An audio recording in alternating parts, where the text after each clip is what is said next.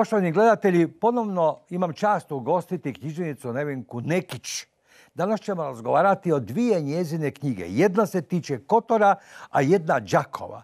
Na taj način spajamo u književnom smislu jug hrvatskog kulturnog prostora i ovaj naš istok Slavonije, odnosno Srijema.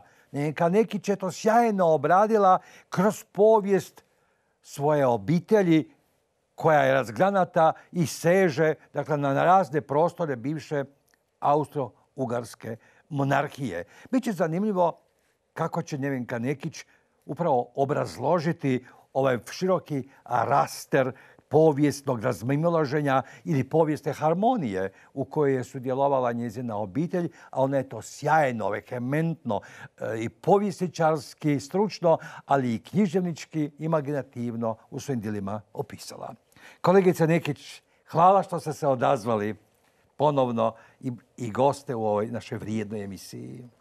Poštovanje svima i hvaljeni su si Marija svim gledateljima Laudato televizije, a vama kolega Vidmaroviću, predsjedniče našeg društva, nadam se i idućem mandatu, e, zahvaljujem što ste me pozvali da govorim o nečem što je vrlo za mene barem pomalo i sentimentalno, ali ima i konotacije koje vjerujem da će zanimati i druge ljude, jer ja ne govorim ovdje u tim knjigama samo o svojoj obitelji. Nijedna obitelj nije izolirani neki slučaj. To je vrijeme e, koje obuhvaća, dakle ne samo prostor, nego i vrijeme koje obuhvaća upravo to možda davno minulo doba. Ali taj od Kotora, taj divan luk, dva kraka naše drage Hrvatske. Da, koji, koji čak završavaju u mojim nekakvim autobiografskim bilješkama još sjevernije od Đakova u Batini na samom e, kraju Hrvatske države, na onom mjestu gdje počinje granica s Mađarskom i gdje Dunav je možda najveličanstveniji od svih mjesta u prolazu kroz Hrvatsku. Tako da se jako čudim. Ali tu je već vaša osobna sudbina u pitanju. Da, svagdje je e, osobna. E, čini mi se da sam ja čovjek koji e, ovako poput Matoša ne mislim reći da sam ja kao Matoš, mislim da se razumijemo, nego da ne, u nekim točkama razmišljanja se dodirujemo. Čovjek je pejzaž i pejzaž je čovjek. Dakle, radi se o tome da e, neki odrastu e, na jednome mjestu pa su u kući svojih predaka sto, 200, 300 godina smatraju to i srećom. Ja mislim da to jest djelomično sreća, a da je ovaj naš e, obiteljski nekakav lutalački e, sindrom koji je pogodio cijelu obitelj i to preko 200 godina, e, donio eto, nekakvu disperziju da od Kotora, možda najljepšeg zaljeva na čitavom svijetu, pa do gore Batine gdje sam kao dijete živjela.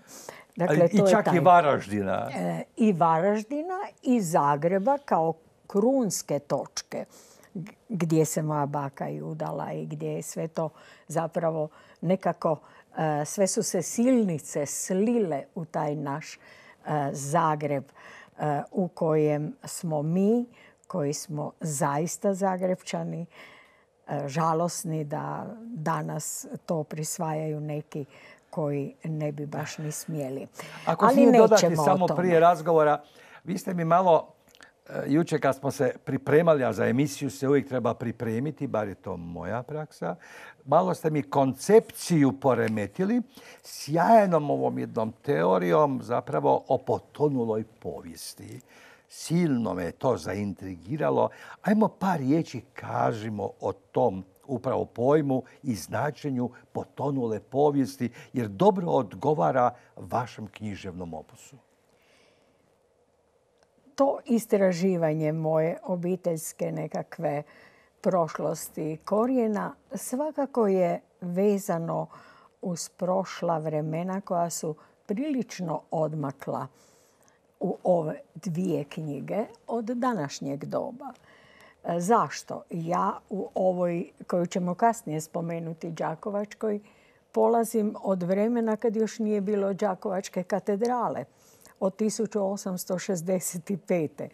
A ovdje govorim o vremenu iz 900. godina, bolje reći 1899. kad se moj otac rodio. Dakle, e, to su ipak sad već e, od ove kotorske trilogije 120 godina, a od one e, još dodajte i 40 skoro. Prema tome, zanimljivo je i čudesno meni kao osobi koja je odrasla nekako na asfaltu bilo doživljavati te prostore u koje sam dolazila već od ranog djetinstva i e, slušala o tim ljudima i vremenima e, koja ćemo spomenuti e, u oba slučaja, koja su prošla u jednoj državi koja se zvala Austrougarska monarhija. Daleko od toga da je to neka naša obsesija da nam je bilo idealno. Nije. Ali nakon što je ona propala kao jedna uređena država koja je imala i zakone i dobru valutu i sve ostalo, o čemu ja i pišem na nekim mjestima, doživjeli smo rasap. Rasap hrvatskoga tijela narodnoga, osobito srednjega sloja. Dakle, moji nisu pripadali niti sirotinji, ali nisu bili niti plemstvo, niti e, nekakvi jako bogati ljudi. Dakle, to je bio jedan srednji sloj, ponajviše profesori, e, inženjeri, tehnički e, ljudi, ljudi od tehničkih znanosti i tome slični, medicinskih recimo, Dakle, to, to je jedan srednji sloj koji je imao jedan lijepi i dostojanstveni život. E, nije on bio bogat. Ako počinjemo, jer e, ste željeli da počnemo sa Kotorskom trilogijom, u kojoj ja opisujem u tri nekakva odjeljka e, svoga oca, posvećen je ovaj tekst mojem ocu Ivanu.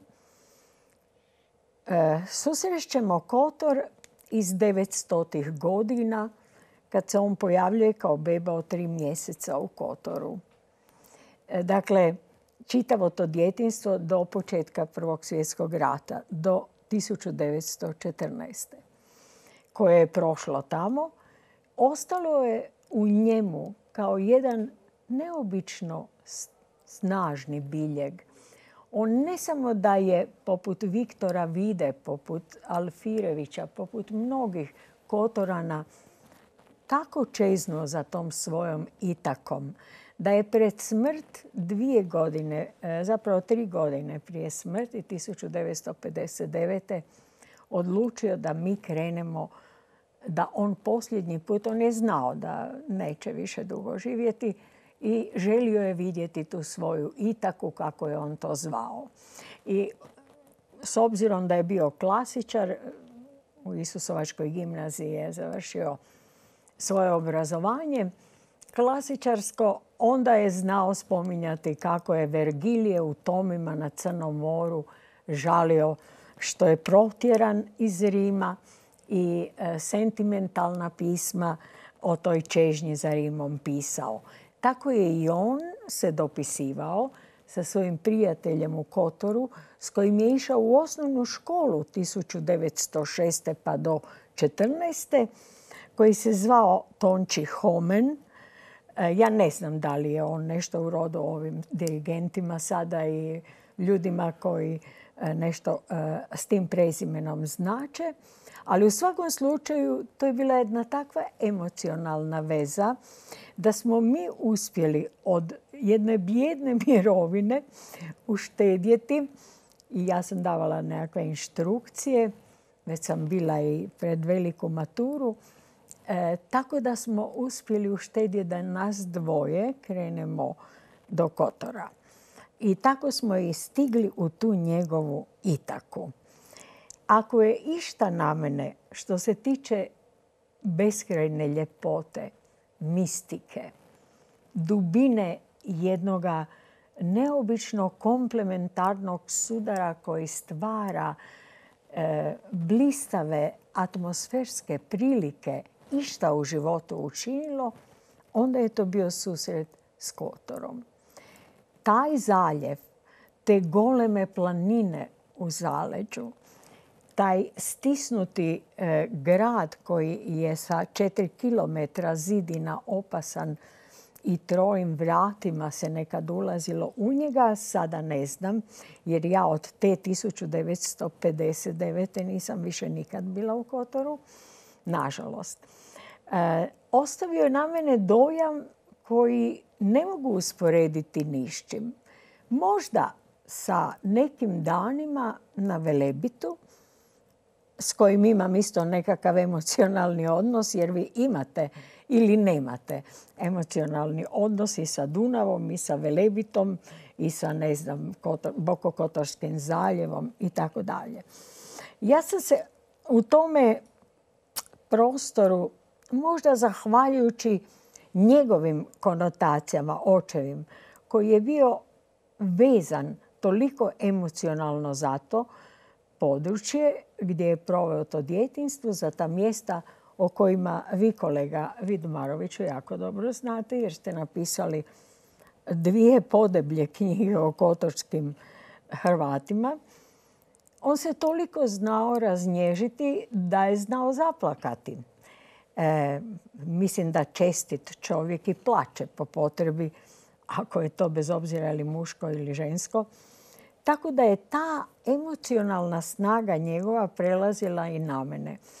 E, dizali bismo se vrlo rano ujutro i e, kretali bi najprije na plažu, pa onda bi on naravno meni pokazivao gdje je nekada bio taj hotel njegove majke, gdje je on eto, volio sjediti, gdje se igrao s dječacima i tako dalje. I naravno sve one znamenitosti koje Kotor ima.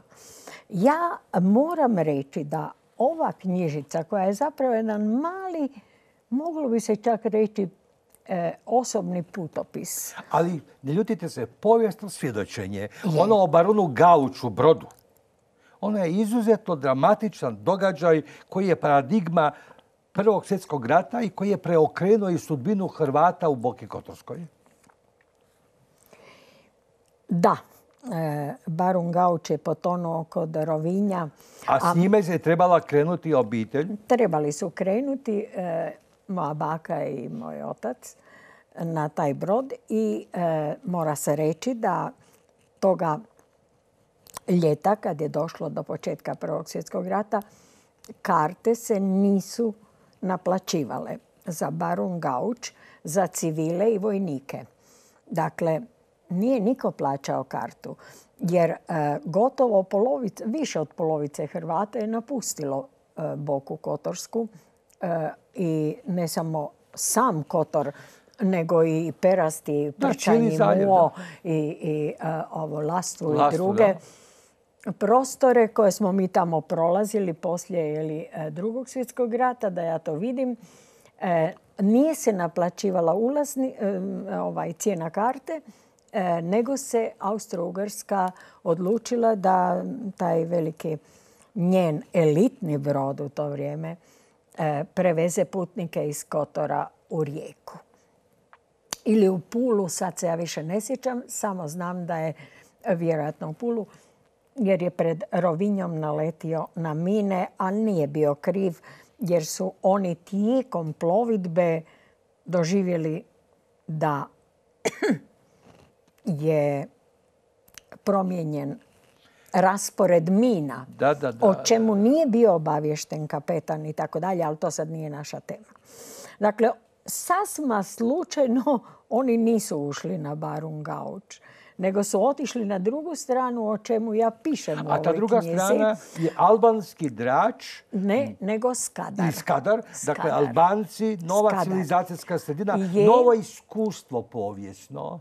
Da, ali treba e, znati nešto e, da je e, Skadar u to vrijeme bio jedan vrlo civilizirani gradić koji je imao dva dijela, a u ovom dijelu u kojem su se smjestili e, moja baka i otac, u tom dijelu je bilo jako, jako puno katoličkih ustanova. Bila je gimnazija Isusovaca, klasična gimnazija Isusovaca i tamo je moj otac završio tu gimnaziju.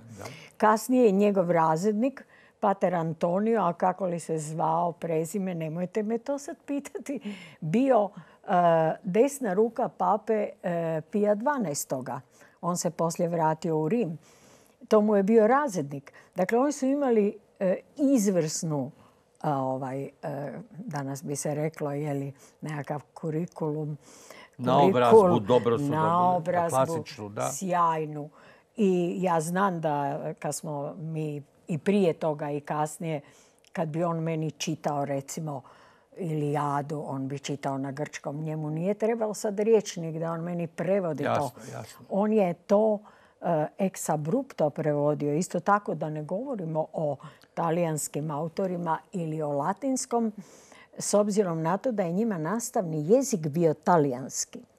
Tako da je on sve predmete slušao na talijanskom od e, jezika jeli, e, e, latinskoga, e, Bože nije latinski učio, ali na talijanskom su bili svi predmeti, matematika, filozofija, sve što su učili, sve je bilo.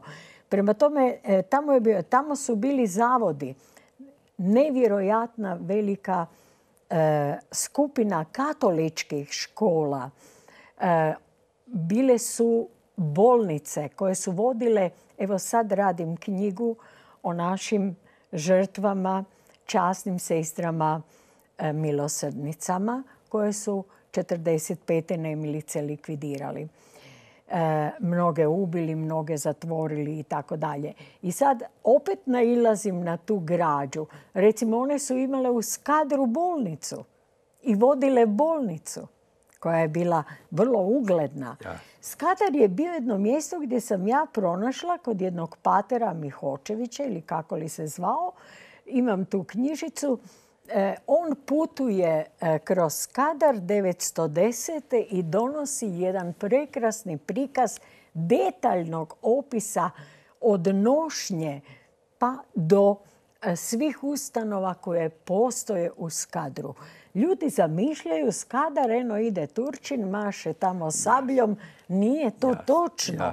To je bila katolička sredina koja je pola grada zauzimala, a u toj školi, klasičnoj gimnaziji gdje je kod Isusovaca, nisu bili samo katolici. Bilo je tu i nešto pravoslavnih, a bilo je e, i ovaj, e, muslimana nešto. Dakle, onih familija koje su htjeli da njihovi sinovi, jer to je bila muška škola, dakle za dječake, za mladiće, da njihovi sinovi postignu uspjeh. Ovo je dokaz kako je albanski narod formiran kao trokonfesionalan. Je. Pravoslavci, rimokatolici i muslimani. S time da je najviše muslimana, katolika e, najviše u ovom sjevernom dijelu, a e, e, ovih pravoslavnih je Prema bilo Grčkoj tamo. vrlo malo, ali normalno se funkcioniralo. Nije tu bilo nekih sukoba. Ja sam to e, istražila prilično dobro, a i otac je ostavio i neke bilješke o tome svome e, klasičnom obrazovanju. Ali da se mi vratimo na njegov kotor, na njegovu itaku. Na naš dragi Kotor. Da. E, Svaki kamen kažu ljudi, a osobito autori poput vas koji ste se zaista kolega bavili e, dugo godina e, pitanjima e, Hrvata u Kotoru, pjeva hrvatskim jezikom. Svaki kamen. E, Kad smo došli, e, najprije je bila jedna vrlo neugodna situacija.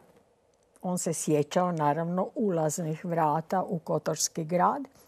Na ulaznim vratima to bi mogla kamera i snimiti. Ne bi imala ja ništa povijesni grb, jel tako? Tu imam povijesni grb, ako kamera može vidjeti. Evo, držim ga na prsima. Gore piše Fides et Honor, to je bila dakle ovaj, e, misao koja je bila misao vodilja kotorskih Hrvata. Dakle, vjera i čast. O tome želim govoriti, o toj časti, o tome dostojanstvu.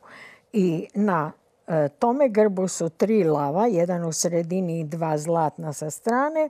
Naravno Sveti Tripun koji ima u e, e, desnoj ruci znak mučeništva, to je palmin list, a u lijevoj ruci drži grad Kotor kao što sveti Vlaho drži grad Dubrovnik i tu su dvije maslinove grančice i dolje piše latinski da je to Kotor eh, Comunitas Civitatis Katari.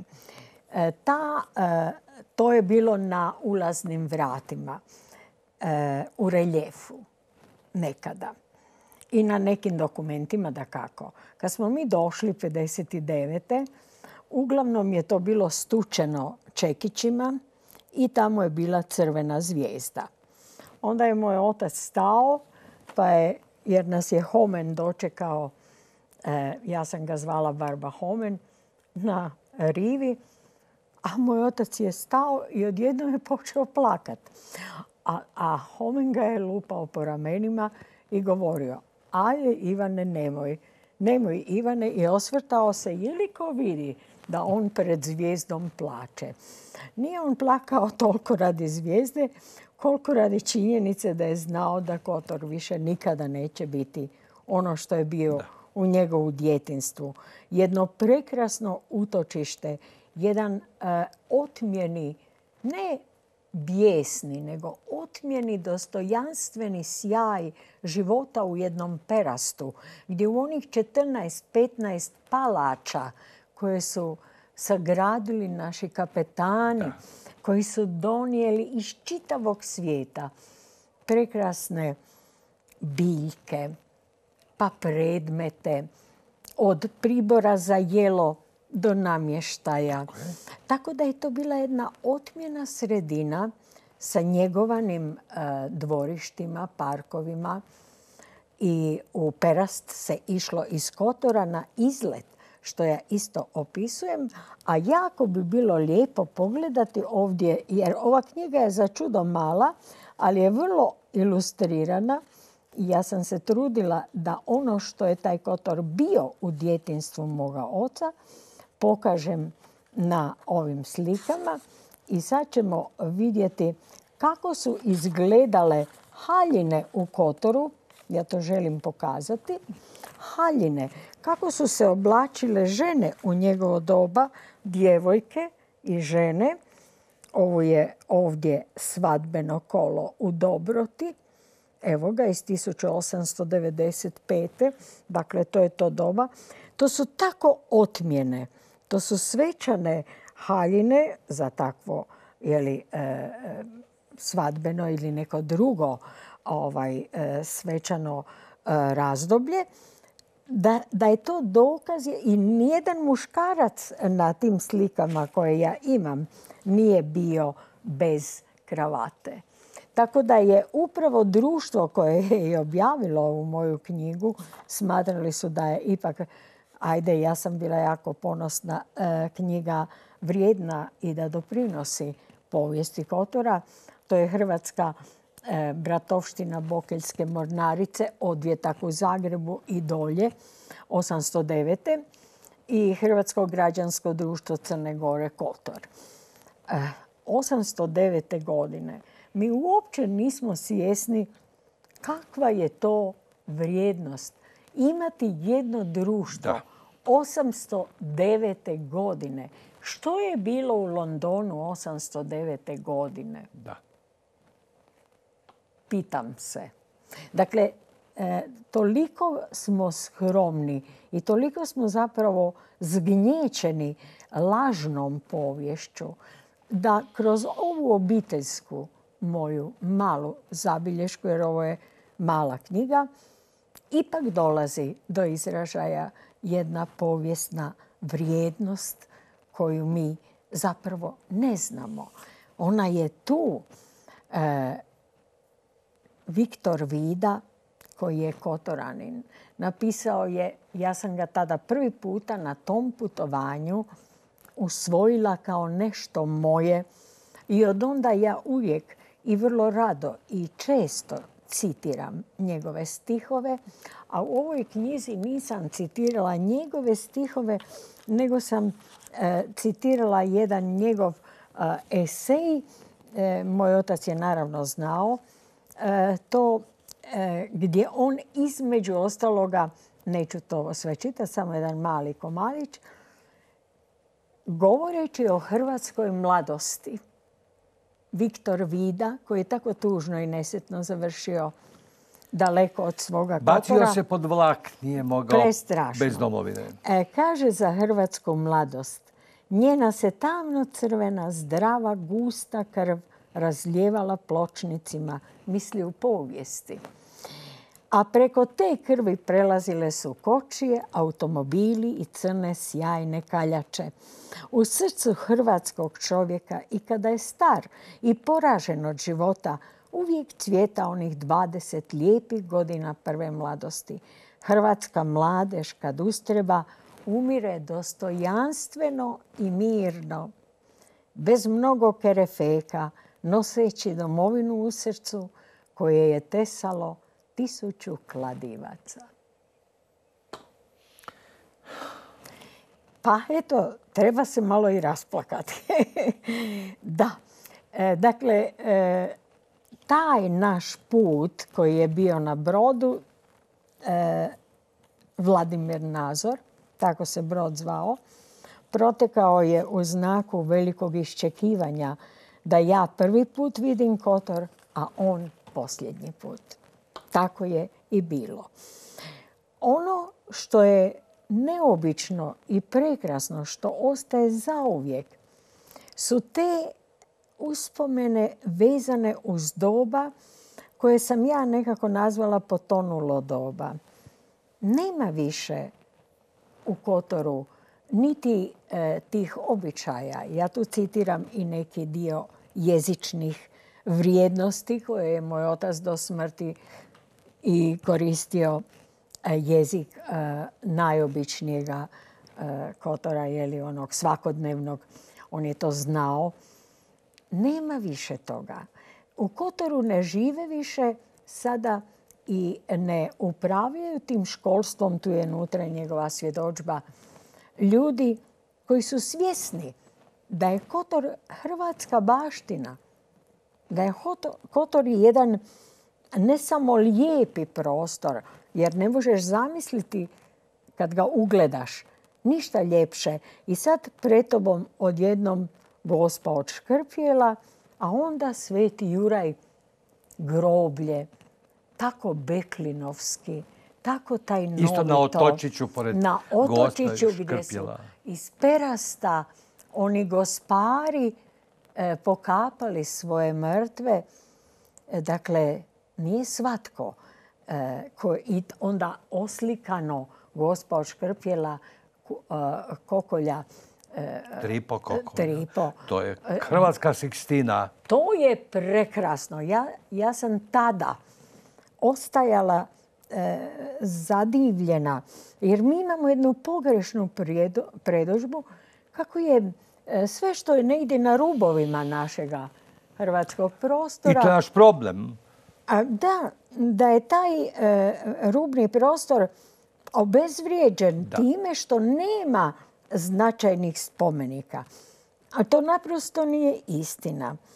E, recimo ako idete u Žumberak, vi ćete proći iz Jaske desno preko Petrovine i tamo je crkva iz 13. stoljeća na 14. I sad vi gledate freske gotičke prelijepe za koje ljudi ne znaju. Kolegice, Nema ljepših anđela. Slažem se.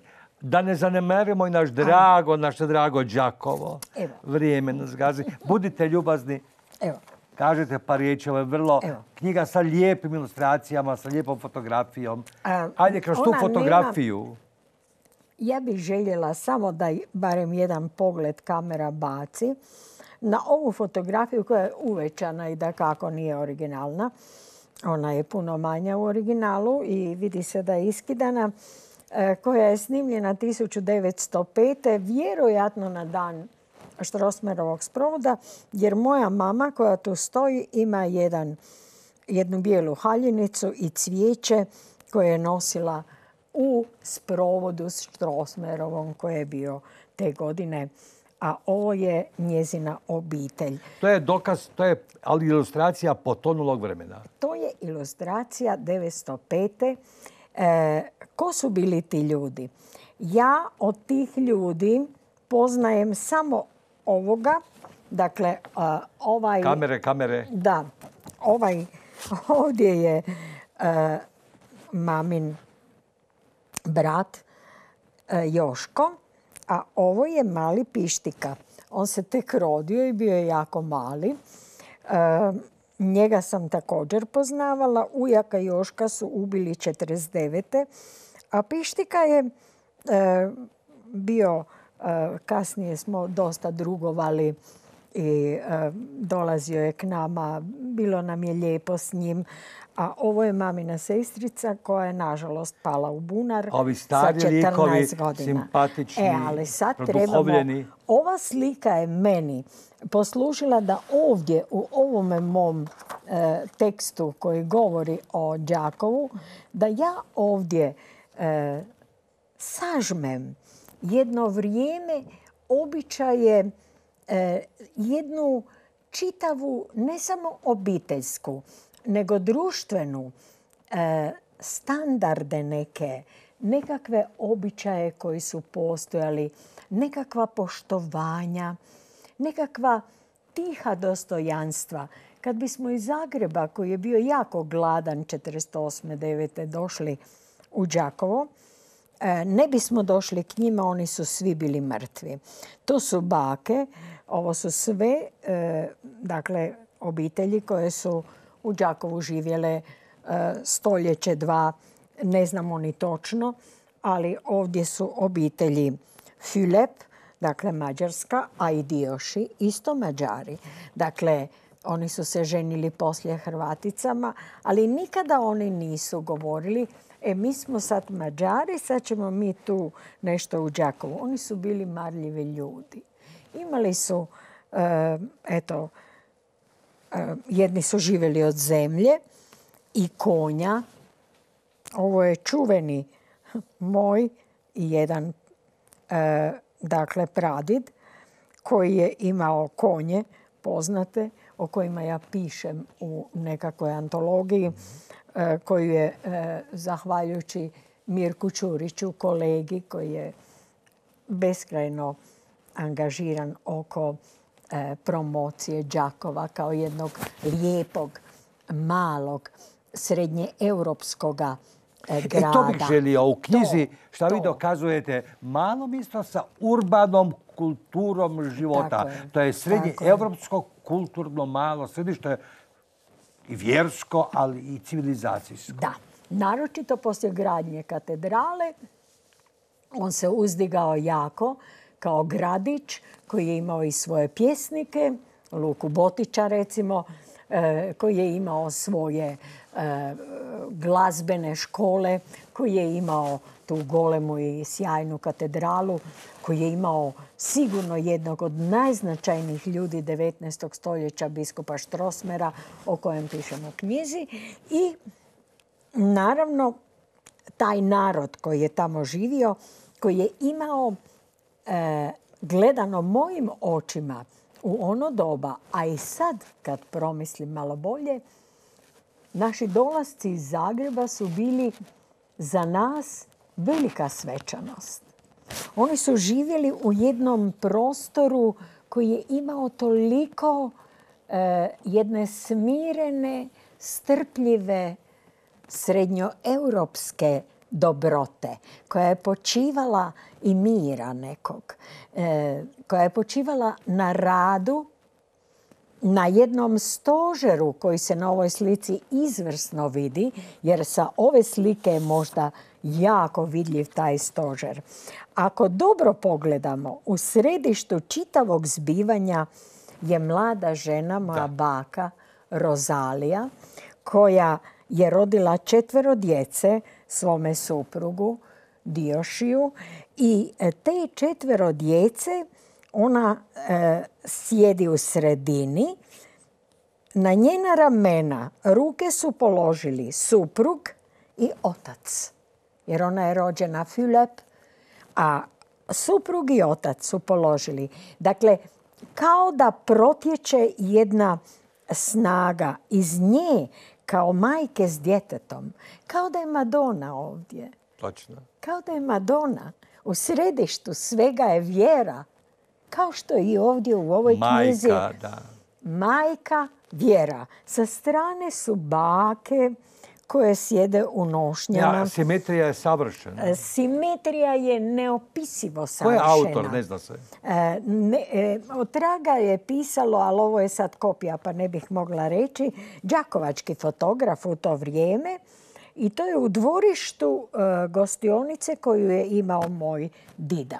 Dakle, e, taj jedan sloj Đakovačkoga, jednog poštenog, čestitog, smirenog, miroljubivog, srednjoevropskoga i vjerskoga i e, e, ostaloga načina života, da ne spominjemo sve segmente, koji je primao e, knjige iz e, ovoga Marulića, ne Marulića, Svetojeronimskog društva. Oni su bili pretplaćeni na to, a bili su pretplaćeni i na vijenac Matice Hrvatske. i na vijenac.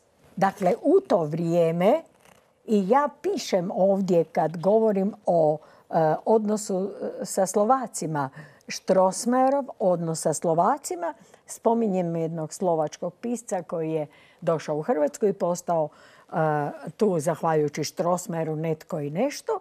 Bio je svećenik i pisao. On je iste godine dobio sa Dragojlom Jarnevićevom i sa čini mi se Lukom Botićem, nagradu Vjenca e, za pripovjetku.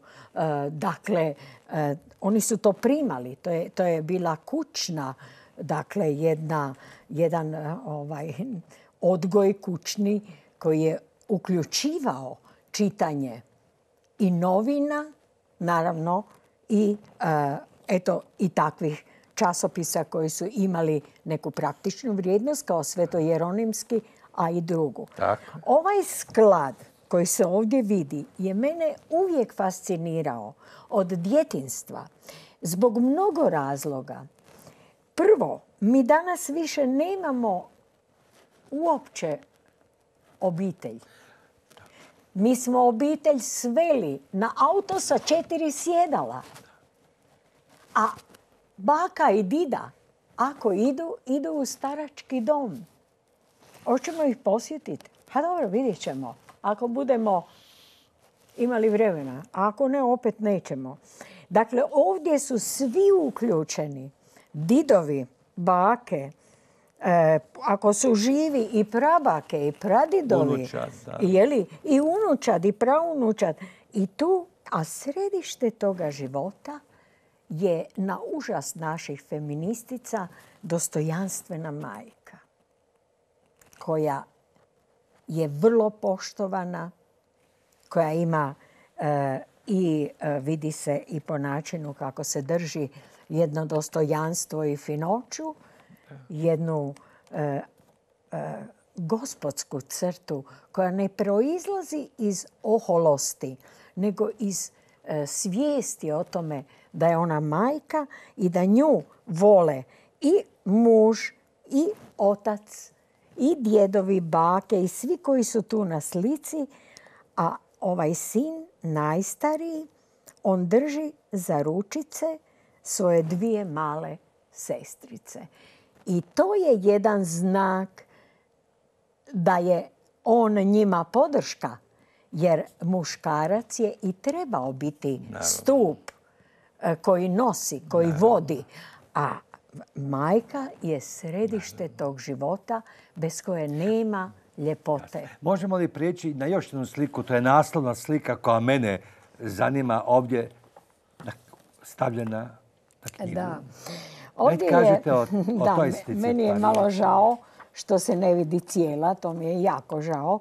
E, tako, jer to je, to je slika e, kako anđeo nosi maloga anđoleta u raj, koji je radio Franjo Molnar, jedan slikar njihov prema izgubljenoj fresci Ludovika Zajca, koji je oslikao katedralu. I katedralu i e, na tim freskama o kojima ja pišem ovdje se nalaze razni likovi, a mislim da je taj, e, e, ta slika nastala u trenutku kad se dogodilo zlo, pa je to dijete koje se rodilo umrlo. Taj mali dječak i tako da je onda ta slika nastala, ali nikada nije stavljena. Bila je predviđena za fresku, ali nije stavljena. Nad svima dominira Đakovačka katedrala, a tu dolje se vide, šteta da se ne vide, ovdje ovi krovovi Đakova, kako je onda bilo, jer katedrala nije bila okružena sa ovim secesijskim i drugim zgradama, kao što se to dogodilo Šta kažete kao povjesničarka umjetnosti o katedrali? graditeljski, umjetnički, o njezinom fenomenu. Ona je civilizacijski i kvjerski veliku ulogu odigrala u povijesti i tog kraja i cijelog hrvatskog naroda. Je. Od Beča do Carigrada govorilo se nema takve katedrale. E, prigovarali su biskupu Štrosmajeru e da se odao, ne znam, talijanskim renesansnim majstorima, pa ovim, pa onim. Dakle, puno su mu prigovarali. Međutim, on je katedralu uredio tako da kad uđeš u tu katedralu, što ju ja opisujem, u tebi iščezne i posljednja ohola misao kako si ti netko i nešto jako važno i veliko. To je jedan hram, hram, pravi Božji hram, prekrasno oslikan svim onim veličanstvenim, nama nepojmljivim događajima koji su čovjeka doveli do toga da e, može govoriti o ljepoti, o dobroti, ali je sjajno istok i zapad, bizantinska i rimska. Da, sad da ne ulazimo u e, detalje, on je jedna svakako e, složena konstrukcija. Više stilova. Ali to sada meni nije toliko možda bitno za ovu knjigu, nego taj dojam tih veličanstvenih fresaka. E, morate doći po danu, ne kad sunce zalazi ili kad je već sumrak. Bijah, preporučujem Jer e, ne može nitko ovaj, onda freske gledati, budući da se one ne osvjetljavaju jer bi ih svjetlost ruinirala. Prema tome, treba doći u Đakovačku katedralu e, kad je sunce. Tako da prirodna svjetlost osvijetli te veličanstvene e, freske. Naš boravak uvijek je bio vezan uz dvije, dva fenomena. Idemo tu kraju sada. Da. Koji su to fenomeni? Jedan je bio fenomen ta ljubav prema konjima, koja je nekako i u meni.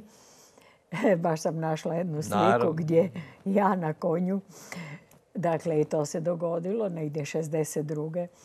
E, dakle, to je jedan fenomen, a drugi fenomen je e, ta veličanstvena katedrala i obilasci mjesta koja su vezana uz naše mrtve. Mi počivamo na tim veličanstvenim našim precima. Oni nisu bili veliki pa da se negdje piše sada bio je predsjednik države ili nešto. Ne, Oni su svojim beskrajnim trudom radišni, e, čisti, e, sa potrebom da, e, recimo, samo da kažem jednu malu crticu. Kažu da nikada na dućanu moga djeda Dioša nije pisalo poštu svakome, vjeresiju nikome. On je svakom davao na vjeresiju. Tu ćemo stati. I dakle, zato to je, poruka. I je, ali zato je 19. i 20. propao kad se promijenio kruna za dinar, četiri krune, ako je i nešto bilo ušteđeno, obitelj je propala. To je već novo vrijeme. To je novo vrijeme. ja pišem o ovom potonulom vremenu i njemu dajem nekakvu počast. Nismo ništa izumili osim nebodera. Hvala lijepa. Poštovani gledatelji, uzdahnuo sam ovaj prekrasan razgovor upravo o tom potonulom vremenu, o živom svjedočenju na osnovu obiteljske memorije i povijesnih dokumenata, o dva kraka Hrvatske koji svjedoče o našoj kulturnoj baštini, o našem sudjelovanju u evropskom civilizacijskom krugu, bilo se evropskom, bilo mediteranskom. Gospođa Nekić je to snažno i hrabro učinila i ove dvije knjige, prenda nevelike, upravo svjedoče o tome imaju svoje važno mjesto u našoj suvremenoj povijesti, poglavito kod onih ljudi koji ne žele povijesti zaborav, koji shvaćaju da ne smije doći do prekida povijesne memorije, jer naš, mi živimo na grobovima naših starih, kako reče kolegica, mi moramo nastaviti život dalje, poštivajući i ugrađujući se emotivno i identifikacijski u ono što su nam oni ostavili u baštinu. Kolegice Nekić, čestitke i velika zahvala. Hvala lijepa.